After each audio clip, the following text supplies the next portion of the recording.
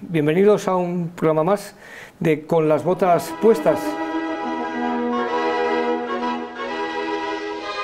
Posiblemente no habría llegado a existir el Nimitz, porque eh, si el concepto de guerra aeronaval no se hubiera desarrollado en aquel momento, a lo mejor habríamos seguido desarrollando acorazados, habríamos pasado a los misiles directamente, a los cruceros eh, lanzamisiles, y a lo mejor no habría llegado a existir el Nimitz.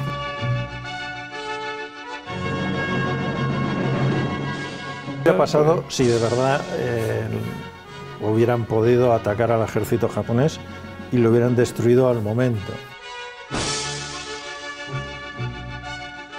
combatiendo en el espacio y en el tiempo.